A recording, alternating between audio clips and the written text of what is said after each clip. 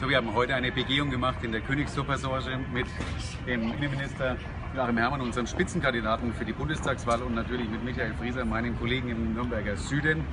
Ähm, insbesondere die Zusammenarbeit zwischen Bund, Land und Kommune, was äh, mehr Sicherheit in unseren Straßen betrifft, ähm, ob das die Beleuchtung ist oder ob es vor allem auch die Videoüberwachung ist. Und deswegen freuen wir uns sehr, dass diese Zusammenarbeit zwischen Bund, Land und Kommune so funktioniert und dass wir hier eine deutliche Verbesserung der Sicherheit hinbekommen.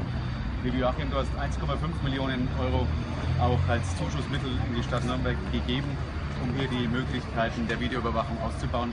Herzlichen Dank dafür. Ich denke, es ist eine deutliche Verbesserung. Ja, ich freue mich, dass in der Stadt Nürnberg jetzt zum einen in der U-Bahn äh, die Videoüberwachung im Interesse der Sicherheit der Fahrgäste deutlich ausgebaut wird. Äh, immerhin 5 Millionen, die in den nächsten fünf Jahren hier in die Hand genommen werden von der Stadt Nürnberg und der VfB inklusive und der Freistaat Bayern zahlt 1,5 Millionen dazu.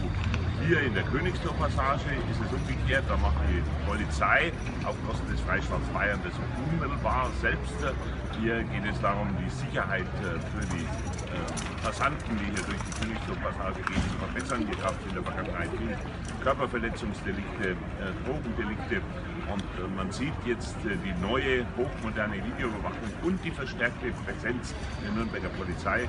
Führen dazu, dass die Delikte zu Heute im Termin mit dem bayerischen Innenminister, mit Sebastian Brehm als Fraktionsvorsitzender und Bundestagskandidat und äh, mit einem Abgeordneten machbar war, um die Frage Videotechnik in der Königstor-Passage nochmal sich äh, zu Gemüte zu führen. Wir haben die Rahmenbedingungen geändert, der Freistaat Bayern stellt das Geld ein, die Kommune entscheidet zusammen mit der Polizei, wo diese Videokameras angebracht werden. Das ist Sicherheit durch Stärke, wie der Freistaat Bayern es den anderen Bundesländern vormacht.